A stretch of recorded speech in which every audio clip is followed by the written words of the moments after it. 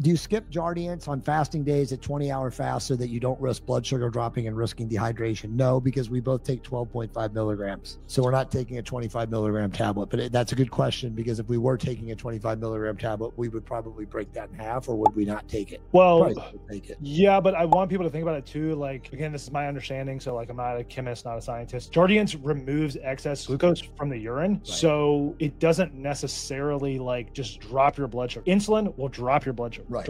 will not just drop your blood sugar because of the way it works. It removes excess glucose from the urine. If you don't have excess glucose in the urine, you're not necessarily going to go hypo and have low blood sugar. I think it's actually beneficial to take pre cardio. And if you're doing that, because what it does is it like helps drive similar to like how you know like a bodybuilder would take it's it's kind of like taking insulin pre-cardio without having the risk of taking insulin pre-cardio to get the benefits to basically just drive fatty acid oxidation even that much more so i don't know take it take it for what it is but i don't think that that's a risk and i don't worry about it